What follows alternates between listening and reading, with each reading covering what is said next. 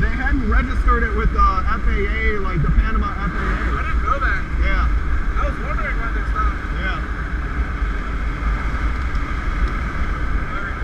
Are you gonna Yep. out No. I'll be I'll be inside the plane.